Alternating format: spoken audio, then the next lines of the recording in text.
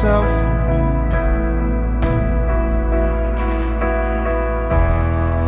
Cause I space myself from you. Cause I got tired of hurting you.